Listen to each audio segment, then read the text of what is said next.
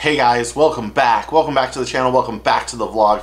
If you're new, I am Steve Chapman. Today, you and I are going to take a closer look at the Riot Baits Ronin.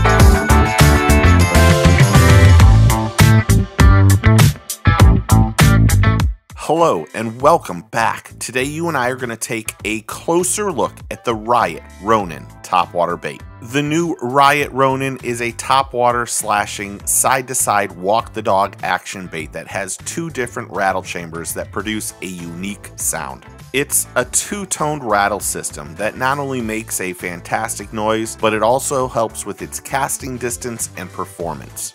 The first rattle chamber offers a loud knocking from a single tungsten ball at the tail of the bait, and the second rattle chamber is at the front of the lure, and it's not as loud but has smaller BBs. The Ronin has a wire through construction and offers Mustad's 2x strong short shank treble hooks. This bait was extensively tested all over the country and built to withstand multiple fish catches and the biggest predator fish you are targeting. And its walking action is awesome because of its lifted nose that makes it skate across the water. The Riot Ronin is 5.5 inches in length and 3 fourths of an ounce. Retail price is $9.99 and it's available in six killer colors. For more information about this product or the products used in this video, please see the links in the description below. Thanks for watching our closer look at the Riot Ronin topwater bait. For the first time ever, I'm not going to ask you to subscribe to the channel, but do me a favor, do a few things. Take a kid fishing, get your fish on.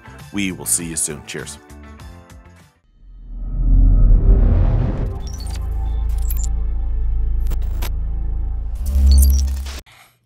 Hit like and subscribe. Take your um kids fishing.